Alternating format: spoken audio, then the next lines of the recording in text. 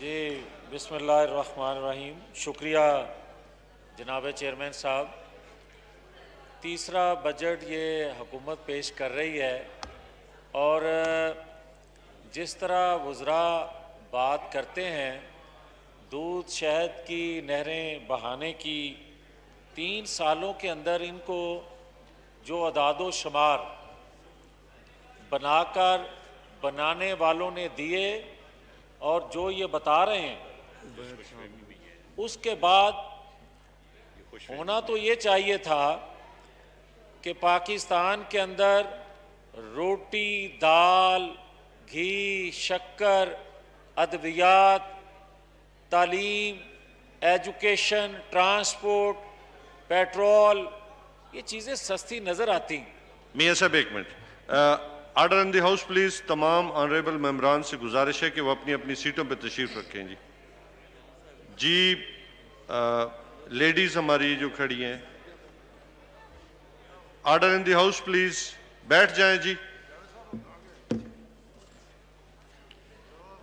जी जी मियाँ साहब। जी इजाज़त है जी। जी स्टार्ट शुक्रिया। मैं अर्ज़ कर रहा था कि अगर इनके अदाद शुमार जो बयान कर रहे हैं, उन पे जाएँ तो फिर तो हर तरफ़ हरियाली नज़र आनी चाहिए। फिर तो हर तरफ़ खुशी के लोग जो हैं, वो शादियाने बजाते।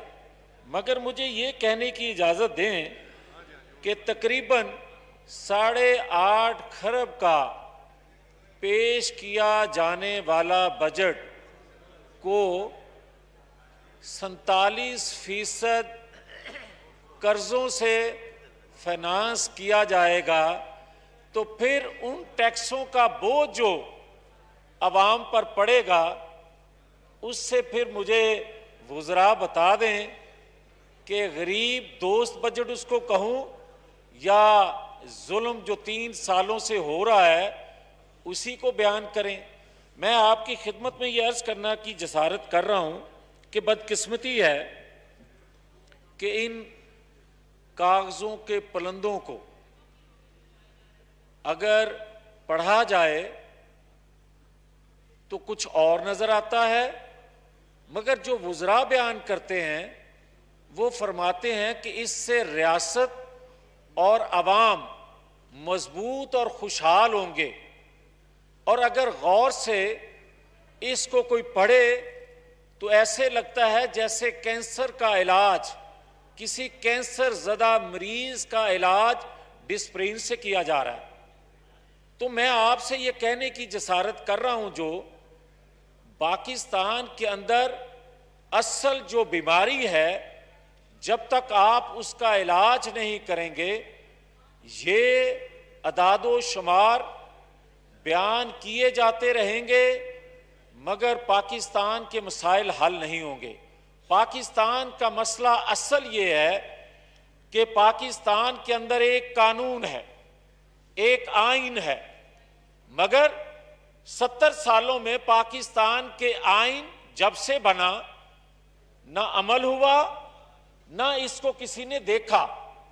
और यहाँ आलम यह है कि आए रोज किसी न किसी को गद्दारी का टाइटल लगा दिया जाता है। आज आलम यह है कि सालों में आपने मादरे मिल्लत फातमा जना को गद्दार कहा और 20 साल बाद अतराफ किया कि मादरे मिल्लत गद्दार नहीं थी। आपने जिस वज़ीर साहब की गुफ्तगु अभी सुनी उन्होंने ही कहा था मादरे मिल्लत को गद्दार। आप ये देखें कि आज हालत ये है कि पाकिस्तान के अंदर जुल्फकार अली भुट्टो को फांसी पे चढ़ाते हो और 15-20 साल बाद इतराफ करते हो कि जुल्फकार अली भुट्टो के साथ ज्यादती हुई। अदालती कत्ल हुआ। आप नवाज़ शरीफ को हाई जैकर बनाकर सजा देते हो और दस साल बाद एतराफ करते हो कि ये सजा दी जाने वाली जो थी, ये गलत थी। आप इतराफ कर लेते हो। ये सिलसिला कब तक जारी रहेगा कि आप कभी किसी को ठोक देते हो और किसी को स्मैश करने की धमकियाँ देते हो? आप ये बताओ कि पाकिस्तान के अंदर क्या हुब्बुल वतनी किसी की जागीर है? कोई सर्टिफिकेट देगा हमें? कायदे आज़म मोहम्मद अली जना ने, जनाब स्पीकर हर पाकिस्तानी को हुब्बुल वतनी का सर्टिफिकेट दिया। आज हमें कोई नया सर्टिफिकेट लेने की ज़रूरत नहीं है। और एक दूसरी बात मुझे ये कोई बताए कि आज मैंने ज़िक्र किया जब नवाज़ शरीफ का जुल्फकार अली भुट्टो का, मादरे मिल्लत का, जब मैंने ठोकने की बात की तो आप देखें लियाकत अली खान। आप जब बात करेंगे तो बेनजीर भुट्टो के कत्ल की, उनकी शहादत की। तो फिर मुझे यह कहने की इजाज़त दें कि आज मरियम नवाज़ शरीफ के कमरे में रात गए, बगैर इजाज़त के दाखिल होना पाकिस्तान की आज़ादी है या गुलामी है? आज कोई ये बताए कि मैं नहीं बताना चाहता, कोई ज़रूरत नहीं है कि जेल में सलूक क्या होता है। मुंतखब लोगों के साथ जेलों में होता क्या ये कोई नई कहानी नहीं है जो मैं सुनाऊं तो किसी को समझ आए। मगर ये रिक्वेस्ट ज़रूर करूँगा कि इस हाउस में बैठे लोगों से, वो इस साइड से हो या इस साइड से, कि आए, एक दफ़ा आइन की ताकत को आजमाएँ। आइन की ताकत को आजमाएँ। पिसे हुए लोगों की ताकत को आजमाएँ। जो हम हमेशा इंतखाबात में उनसे वादा करके आते हैं। मगर बदकिस्मती यह है कि यहाँ अगर कोई घर को दुरुस्त करने की बात करे तो वो नवाज़ शरीफ और उसकी सारी की सारी जमात गद्दार ठहरे। और वही बात कोई और कहे तो मुहिब वतन ठहरे। ये इंसाफ है। ये आज मुझे कोई ये बता दे कि जस्टिस काजी फायज ईसा साहब जो हैं, वो इंसाफ देने वाले इंसाफ मांग रहे हैं। मुझे कोई ये बताए कि जस्टिस सेठ वकार एक फैसला देते हैं और दस दिन नहीं गुजरते। वो फैसला खत्म हो जाता है और सेठ वकार साहब का मुहासबा शुरू हो जाता है। वो तो दस दिन लगे आइन तोड़ने वाले को, उस सजा को खत्म करते हुए दस दिन लगे। मगर जुल्फकार अली भुट्टो नवाज़ शरीफ को दस दस, बीस बीस साल लगा दिए कि यह फैसला गलत था। ये पाकिस्तान जब हम कहते हैं कि पाकिस्तान पर मर मिटेंगे, कुर्बानी देंगे, दे रहे हैं, देते आए हैं और देते रहेंगे। मगर कोई ये नहीं हमें कहे कि चंद ताकतवर लोगों के पाकिस्तान को पाकिस्तान खप्पे कहें। हम कायदे आज़म मोहम्मद अली जना के पाकिस्तान को जुल्फकार अली भुट्टो के पाकिस्तान को, नवाज़ शरीफ के पाकिस्तान को खप्पे कहेंगे। किसी ऐसे ताकतवर ऐसे ताकतवर शख्स जो अपनी जागीर बनाना चाहता है पाकिस्तान को, उसके लिए पाकिस्तान खप्पे का लफज नहीं निकल सकता। इसलिए कि मेरे नाना दादा ने पाकिस्तान बनाने के लिए, पाकिस्तान के लिए हिजरत करके आने वालों को तहफ़ देने के लिए उन्होंने अपने बदन को छलनी करवाया, मगर ये कहा, बट के रहेगा हिंदुस्तान, बन के रहेगा पाकिस्तान। पाकिस्तान का मतलब क्या? हम वो पाकिस्तान चाहते हैं।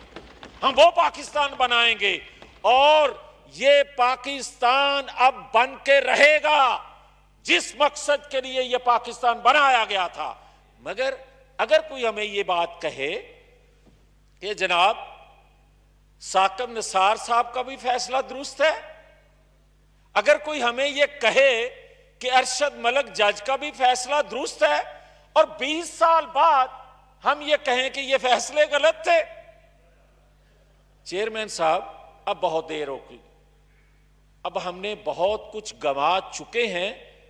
खुदा के लिए मजीद वक्त ज़ाया मत करें। इस आइन को पढ़ें।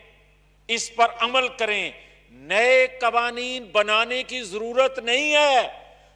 बदनीति से अगर नए कानून बना भी लेंगे, नया आइन बना भी लेंगे, जब नीयत दुरुस्त नहीं होगी तो फिर पाकिस्तान आगे चल कैसे सकेगा? मगर एक चीज़ की इजाज़त चाहता हूँ। अगर ये हाउस, अगर ये आइन फैसला नहीं कर सकता कि गद्दार कौन है और क्यों है? मुहिब वतन कौन है और क्यों है? तो फिर आइन की किताब को बंद कर दें। फिर इस पार्लिमान को ताला लगा दें। फिर इस पार्लिमान में आने की ज़रूरत नहीं है। फिर जो हम वादा करते हैं लोगों से अवाम से तो फिर उनको जवाब दे दें कि हम बेबस हैं, मगर अवाम बेबस नहीं है, लीडरशिप बेबस होती है। लीडरशिप कंप्रोमाइज करती है। जनाबे चेयरमैन साहब, आज बड़ी बातें होती हैं मफामत की। भाई, मजामत कौन कर रहा है? मजामत तो होती है मसल्ला। मजामत तो होती है पहाड़ों पे चढ़ के। मफामत किससे होती है? मफामत दो फ्रीकों के दरमियान होती है। एक फ्रीक आप हैं तो दूसरे फ्रीक का बताया जाए। दूसरा फ्रीक कौन है? और अगर कोई नाम नहीं लेना चाहता तो फिर यह बात बताए कि दूसरे फ्रीक ने या पहले फ्रीक ने अपनी गलतियों का एतराफ कर लिया। क्या वादा कर लिया कि पिछली तारीख को दोबारा दोहराया नहीं जाएगा? क्या यह वादा कर लिया कि आइंदा आइन कानून के मुताबिक अमल होगा? और अगर नहीं किया एक ताकतवर फ्रीक और एक कमज़ोर, लागर, लाचार फ्रीक, उसकी मफामत कैसी? और अगर कोई ये करेगा तो फिर धोखा देगा आवाम को, झूठ बोलेगा, गलत बयानी करेगा। मफामत होती है, मफामत करना चाहते हैं, मगर आइन कानून के मुताबिक। यह बात गलत है कि एक दफ़ा बुजदार को लगा दिया जाए तो उसी तरीके से किसी दूसरे को लगा दिया जाए। बुजदार के लगाने का तरीका अगर गलत है तो मुझे लगाने का तरीका भी गलत है। यह कोई तरीका नहीं है, आइन कानून के मुताबिक। और एक बात और अर्ज़ करना चाहता हूँ।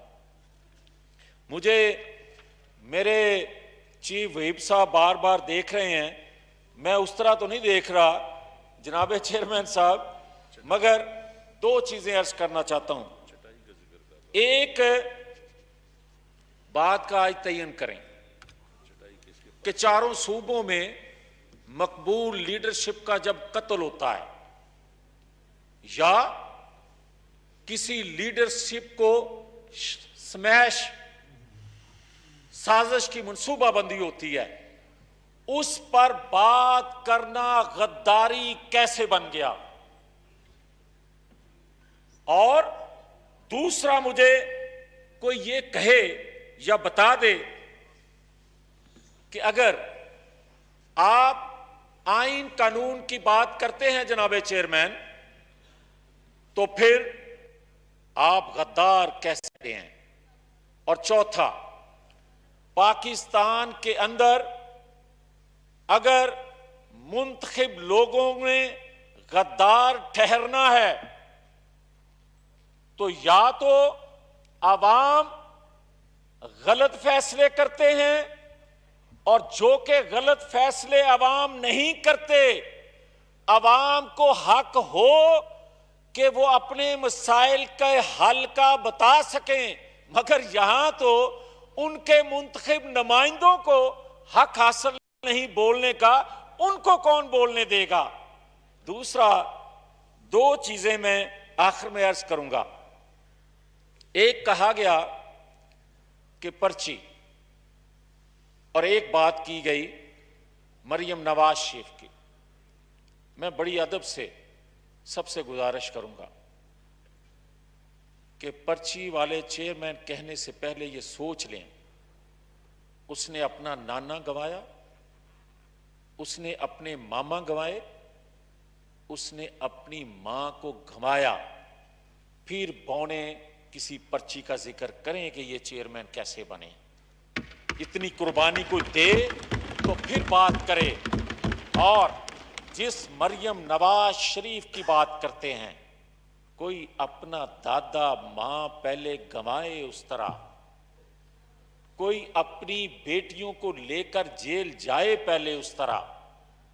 किसी के सेलों में खातन लीडरशिप के सेल में कैमरे। लगे हों। इस ईवान में बैठा कोई गैरतमंद। ये कहे कि उसकी माँ बहन बेटी के सेल में कैमरा लगा हो और वो चुप रहे। उसके बाद कोई कहे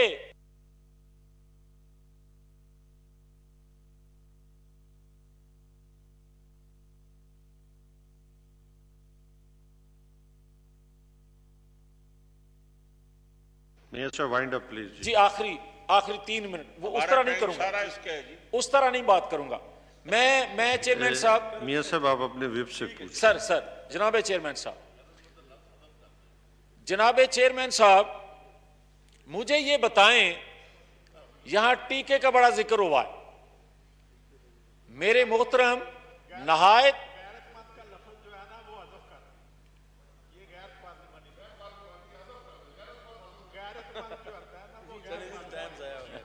अच्छा जिस तरह चौरी बरजीत साहब कहते ने जी मैं तैयार हाँ उस ही कर दो। प्लीज़ मैं मैं ये बात अर्ज़ करना चाहता हूँ, जनाबे चेयरमैन साहब, मैं बड़ा, मुझे एहतराम, अदब है आपका। मैं मैं ये अर्ज़ करता हूँ कि यहाँ टीके की बड़ी बात की गई। इमरान खान साहब ने फरमाया कि जब मुझे इंजेक्शन लगाया गया तो मुझे अस्पताल का स्टाफ जो था, वो हूरे नज़र आ रही थी। मगर खुदा का खौफ करें आपने तो तीन साल इस कौम को जो टीके लगाए हैं इस कौम को दुनिया जो है वो दोजख नज़र आ रही है। आप बात करते हैं चटाई की। मैं किसी तफसील में जाए बगैर सिर्फ़ इतना अपने वज़ीर साहब की खिदमत में अर्ज़ करूँगा कि सामने और पीछे चटाई बिछाने का तजर्बा रखने वाले बहुत हैं उनके। उनसे सीख लें, चटाई पेश किया जाने वाला बजट को सैतालीस फ़ीसद कर्जों से फाइनेंस किया जाएगा तो फिर उन टैक्सों का बोझ जो आवाम पर पड़ेगा, उससे फिर मुझे वज़रा बता दें कि गरीब दोस्त बजट उसको कहूँ, या जुल्म जो तीन सालों से हो रहा है, उसी को बयान करें। मैं आपकी खिदमत में ये अर्ज़ करना की जसारत कर रहा हूँ कि बदकिस्मती है कि इन कागज़ों के पलंदों को अगर पढ़ा जाए तो कुछ और नज़र आता है, मगर जो वज़रा बयान करते हैं वो फरमाते हैं कि इससे रियासत और आवाम मज़बूत और खुशहाल होंगे। और अगर गौर से इसको कोई पढ़े तो ऐसे लगता है जैसे कैंसर का इलाज, किसी कैंसर ज़दा मरीज़ का इलाज डिस्प्रिन से किया जा रहा है। तो मैं आपसे ये कहने की जसारत कर रहा हूँ, जो पाकिस्तान के अंदर असल जो बीमारी है जब तक आप उसका इलाज नहीं करेंगे, ये अदाद शुमार बयान किए जाते रहेंगे, मगर पाकिस्तान के मसाइल हल नहीं होंगे। पाकिस्तान का मसला असल ये है कि पाकिस्तान के अंदर एक कानून है, एक आइन है, मगर सत्तर सालों में पाकिस्तान के आइन जब से बना, ना अमल हुआ ना इसको किसी ने देखा। और यहाँ आलम यह है कि आए रोज किसी न किसी को गद्दारी का टाइटल लगा दिया जाता है। आज आलम यह है कि सालों में आपने मादरे मिल्लत फातमा जना को गद्दार कहा और 20 साल बाद अतराफ किया कि मादरे मिल्लत गद्दार नहीं थी। आपने जिस वज़ीर साहब की गुफ्तगु अभी सुनी, उन्होंने ही कहा था मादरे मिल्लत को गद्दार। आप ये देखें कि आज हालत ये है कि पाकिस्तान के अंदर जुल्फकार अली भुट्टो को फांसी पे चढ़ाते हो और 15-20 साल बाद इतराफ करते हो कि जुल्फकार अली भुट्टो के साथ ज्यादती हुई। अदालती कत्ल हुआ। आप नवाज़ शरीफ को हाई जैकर बनाकर सजा देते हो और 10 साल बाद एतराफ करते हो कि ये सजा दी जाने वाली जो थी, ये गलत थी। आप इतराफ कर लेते हो। यह सिलसिला कब तक जारी रहेगा कि आप कभी किसी को ठोक देते हो और किसी को स्मैश करने की धमकियाँ देते हो। आप ये बताओ कि पाकिस्तान के अंदर क्या हुब्बुल वतनी किसी की जागीर है? कोई सर्टिफिकेट देगा हमें?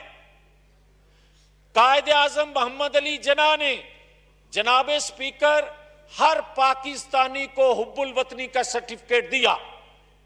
आज हमें कोई नया सर्टिफिकेट लेने की ज़रूरत नहीं है। और एक दूसरी बात, मुझे ये कोई बताए कि आज मैंने ज़िक्र किया जब नवाज़ शरीफ का जुल्फकार अली भुट्टो का, मादरे मिल्लत का, जब मैंने ठोकने की बात की तो आप देखें लियाकत अली खान।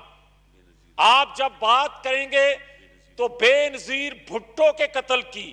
उनकी शहादत की। तो फिर मुझे यह कहने की इजाज़त दें कि आज मरियम नवाज़ शरीफ के कमरे में रात गए, बगैर इजाज़त के दाखिल होना पाकिस्तान की आज़ादी है या गुलामी है? आज कोई ये बताए कि मैं नहीं बताना चाहता, कोई ज़रूरत नहीं है। कि जेल में सलूक क्या होता है? मुंतखब लोगों के साथ जेलों में होता क्या? है ये कोई नई कहानी नहीं है जो मैं सुनाऊं तो किसी को समझ आए।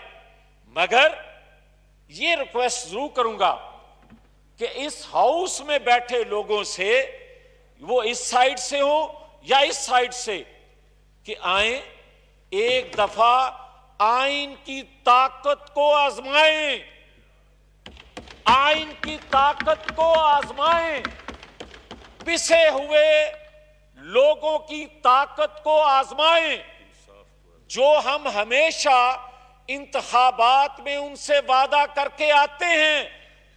मगर बदकिस्मती ये है कि यहाँ अगर कोई घर को दुरुस्त करने की बात करे तो वो नवाज़ शरीफ और उसकी सारी की सारी जमात गद्दार ठहरे। और वही बात कोई और कहे तो मुहिब वतन ठहरे। ये इंसाफ है। ये आज मुझे कोई ये बता दे कि जस्टिस काजी फायज ईसा साहब जो हैं, वो इंसाफ देने वाले इंसाफ मांग रहे हैं। मुझे कोई ये बताए कि जस्टिस सेठ वकार एक फैसला देते हैं और दस दिन नहीं गुजरते। वो फैसला खत्म हो जाता है और सेठ वकार साहब का मुहासबा शुरू हो जाता है। वो तो दस दिन लगे। आइन तोड़ने वाले को, उस सजा को खत्म करते हुए दस दिन लगे। मगर जुल्फकार अली भुट्टो नवाज़ शरीफ को दस दस, बीस बीस साल लगा दिए कि यह फैसला गलत था। ये पाकिस्तान। जब हम कहते हैं कि पाकिस्तान पर मर मिटेंगे, कुर्बानी देंगे, दे रहे हैं, देते आए हैं और देते रहेंगे। मगर कोई ये नहीं हमें कहे कि चंद ताकतवर लोगों के पाकिस्तान को पाकिस्तान खप्पे कहें हम कायद आज़म मोहम्मद अली जना के पाकिस्तान को जुल्फकार अली भुट्टो के पाकिस्तान को, नवाज़ शरीफ के पाकिस्तान को खप्पे कहेंगे। किसी ऐसे ताकतवर ऐसे ताकतवर शख्स जो अपनी जागीर बनाना चाहता है पाकिस्तान को, उसके लिए पाकिस्तान खप्पे का लफज नहीं निकल सकता। इसलिए कि मेरे नाना दादा ने पाकिस्तान बनाने के लिए, पाकिस्तान के लिए हिजरत करके आने वालों को तहफ़ देने के लिए उन्होंने अपने बदन को छलनी करवाया, मगर ये कहा, बट के रहेगा हिंदुस्तान, बन के रहेगा पाकिस्तान। पाकिस्तान का मतलब क्या? हम वो पाकिस्तान चाहते हैं। हम वो पाकिस्तान बनाएँगे। और ये पाकिस्तान अब बन के रहेगा। जिस मकसद के लिए ये पाकिस्तान बनाया गया था मगर अगर कोई हमें ये बात कहे कि जनाब, साकब निसार साहब का भी फैसला दुरुस्त है। अगर कोई हमें यह कहे कि अरशद मलक जज का भी फैसला दुरुस्त है और 20 साल बाद हम ये कहें कि ये फैसले गलत थे। चेयरमैन साहब, अब बहुत देर होगी अब हमने बहुत कुछ गंवा चुके हैं। खुदा के लिए मजीद वक्त ज़ाया मत करें। इस आइन को पढ़ें। इस पर अमल करें। नए कवानीन बनाने की ज़रूरत नहीं है। बदनीति से अगर नए कानून बना भी लेंगे, नया आइन बना भी लेंगे, जब नीयत दुरुस्त नहीं होगी तो फिर पाकिस्तान आगे चल कैसे सकेगा? मगर एक चीज़ की इजाज़त चाहता हूँ। अगर ये हाउस अगर ये आइन फैसला नहीं कर सकता कि गद्दार कौन है और क्यों है मुहिब वतन कौन है और क्यों है तो फिर आइन की किताब को बंद कर दें, फिर इस पार्लिमान को ताला लगा दें, फिर इस पार्लिमान में आने की ज़रूरत नहीं है, फिर जो हम वादा करते हैं लोगों से आवाम से तो फिर उनको जवाब दे दें कि हम बेबस हैं। मगर अवाम बेबस नहीं है। लीडरशिप बेबस होती है। लीडरशिप कंप्रोमाइज करती है। जनाबे चेयरमैन साहब, आज बड़ी बातें होती हैं मफामत की। भाई, मजामत कौन कर रहा है? मजामत तो होती है मसल्ला। मजामत तो होती है पहाड़ों पे चढ़ के। मफामत किससे होती है? मफामत दो फ्रीकों के दरमियान होती है। एक फ्रीक आप हैं तो दूसरे फ्रीक का बताया जाए। दूसरा फ्रीक कौन है? और अगर कोई नाम नहीं लेना चाहता तो फिर यह बात बताए कि दूसरे फ्रीक ने या पहले फ्रीक ने अपनी गलतियों का एतराफ कर लिया। क्या वादा कर लिया कि पिछली तारीख को दोबारा दोहराया नहीं जाएगा? क्या यह वादा कर लिया कि आइंदा आइन कानून के मुताबिक अमल होगा, और अगर नहीं किया, एक ताकतवर फ्रीक और एक कमज़ोर लागर लाचार फ्रीक, उसकी मफामत कैसी?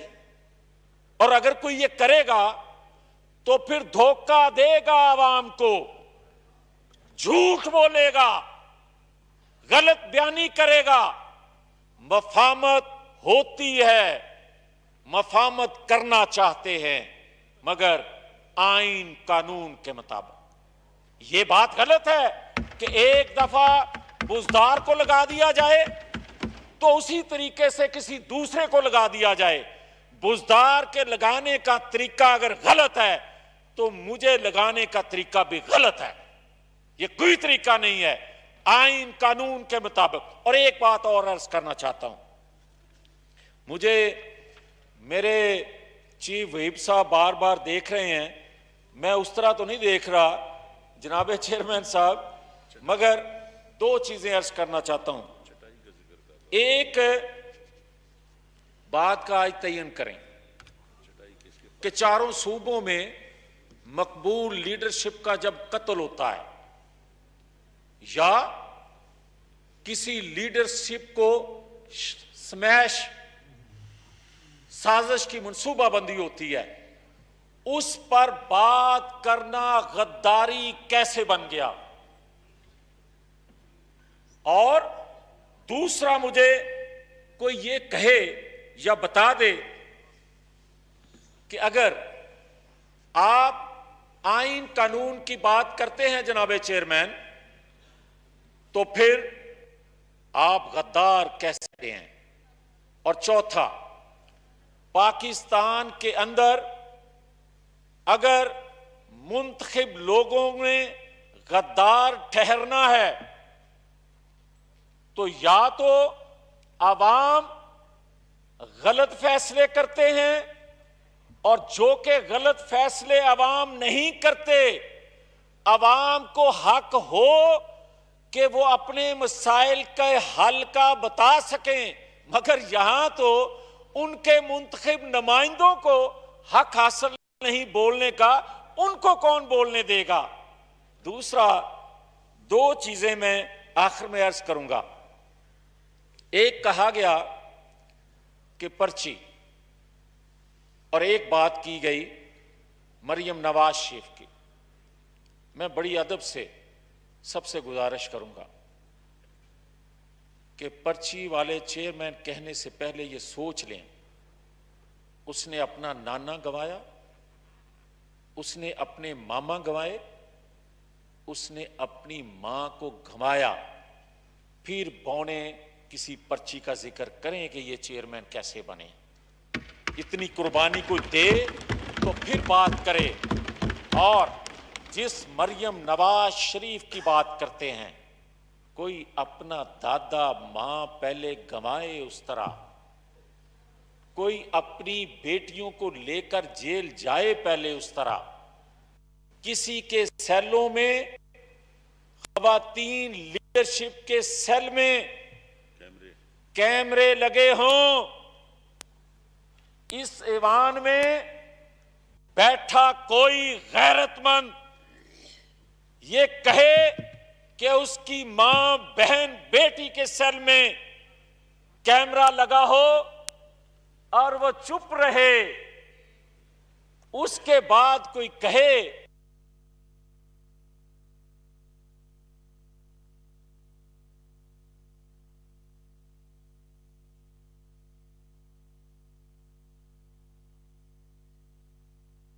वाइंड अप प्लीज़ जी आखिरी आखिरी तीन मिनट वो उस तरह नहीं करूँगा।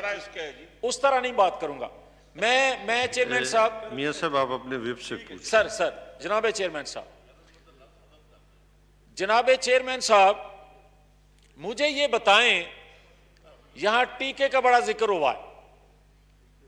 मेरे मोहतरम नहायत